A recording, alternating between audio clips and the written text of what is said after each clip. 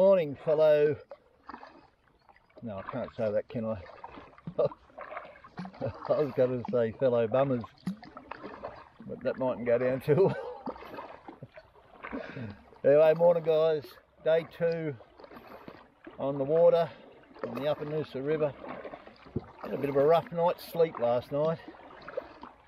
I forgot to uh, do something on my sleeping mat which stops my uh, pillow from slipping off.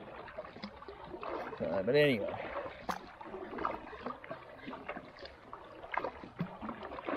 A little bit overcast today, a little bit humid. We might get a storm this afternoon.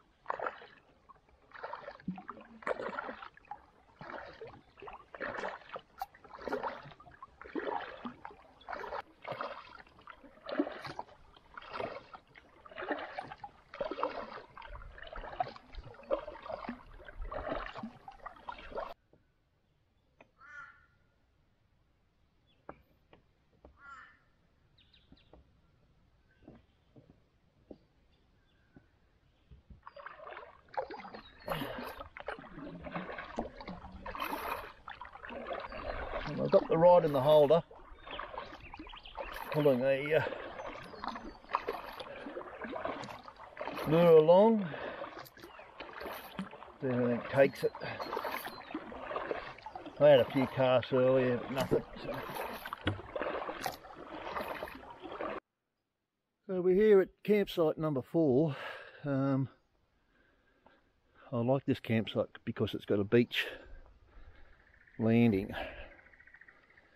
It's only 25 to 11, so it's still only early. Most of the other sites all seem to have uh, landing jetties, which uh, I'm not the most graceful getting uh, in and out of the kayak on. I kind of look like a uh, uh, very beached walrus. Um, so I'm going to go up and have a look a bit further. If not, I'll come back here and then um, I might just do a big day tomorrow and just go up to the top and, and paddle back. Don't know. We'll see. Well, that wasn't pretty, but I'm in. it's good to get out every now and then. I keep getting a numb leg and numb foot. I'm sitting right on the cheekbone and must be pinching the bloody nerve. But anyway, joys of being old.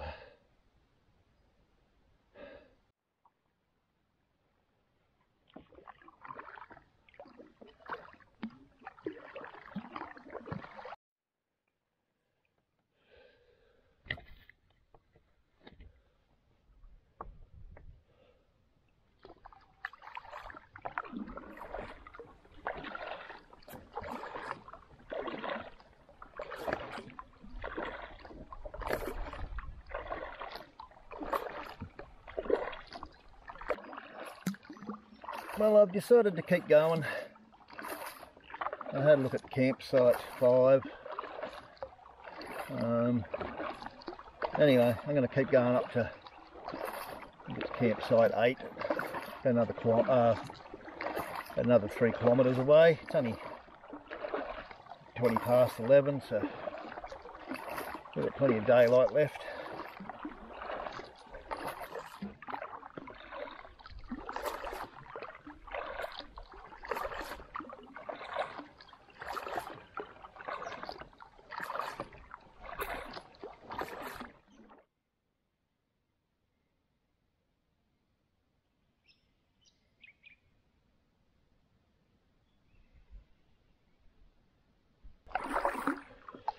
Here we are at campsite 8. I think this might do me today.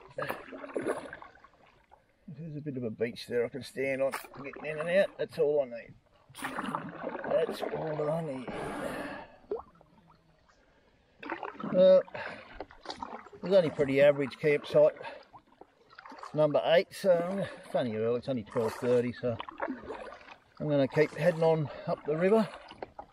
It's actually only five kilometres to the top, so we'll see how I go. Might even make it all the way up there today. That'd be nice. Yeah, I'd planned on six days return, but I wasn't sure how I'd go, you know, and everything. So we'll see how we're doing. We're doing all right. Now we're in this smooth water. It's much easier. Yesterday, getting across the lake, that was a chore.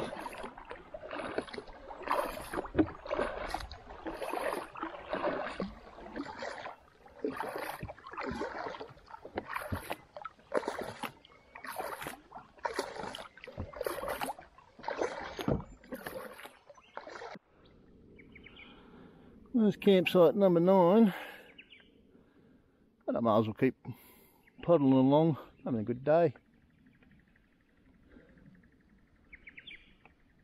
Some garnets up there.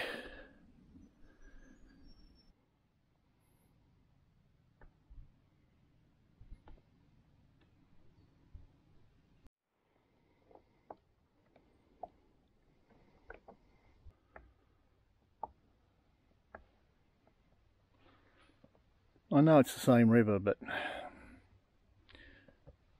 I don't think I could ever get tired of it, really.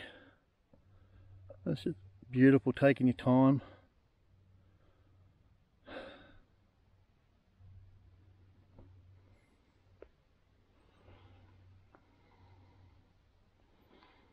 White sand covered banks.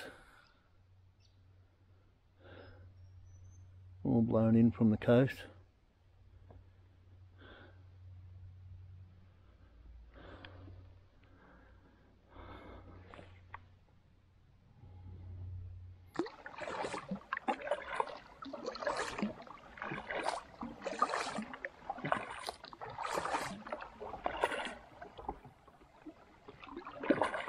Here we are at campsite 15. See if there's somewhere where I can get out without capsizing.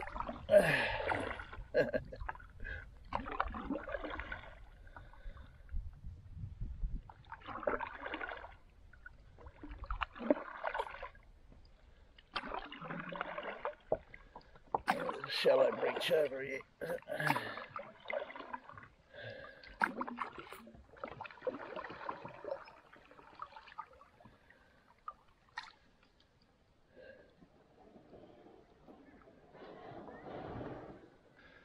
Well here we are guys, all set up at Camp 15, made it all the way, which I'm happy about. Uh, I've just got a bit of a lean-to um, because we're supposed to be getting some rain tonight or some bad weather tonight and tomorrow. So, so if worse comes to worse, um, I've got a spare day up my sleeve now. So if it's uh, really uh, crappy weather tomorrow, I can hunker down and just relax and yeah, see what happens. But I'll just see what happens in the morning. So anyway, I'm going to sit back. I hear one of them cans of Guinness calling my name. Ian, Ian. See ya. So tonight we're going to have um, a seasoned pork chop and uh, got the spuds and the carrots going in there. I've also got a bit of ham and tomato I'm going to throw in at the end. Once it's finished I'll get the camera back on and see what I'm killing myself with.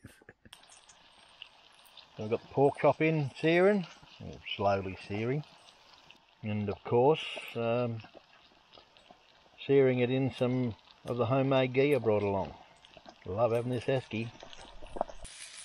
Now pork chop's coming along nicely.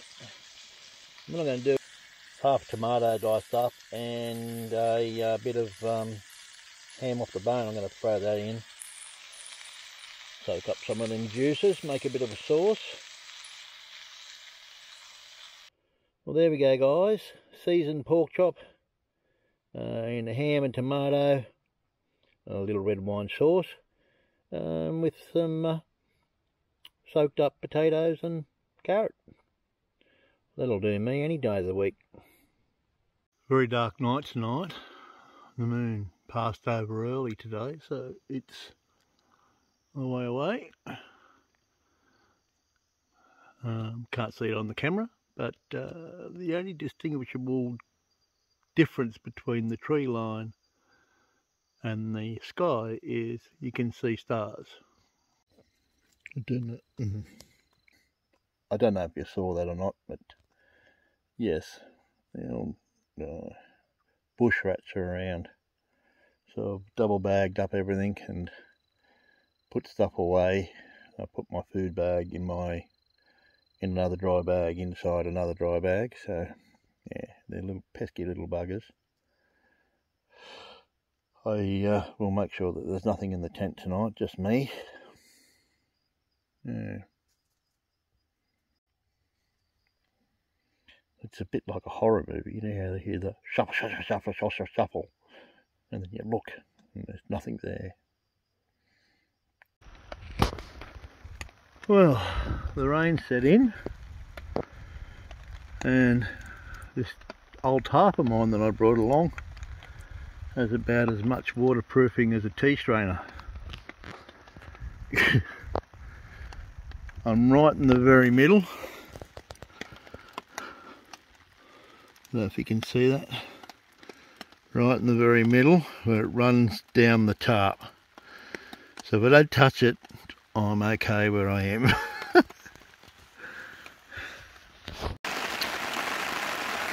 oh well, it's raining again. Oh no.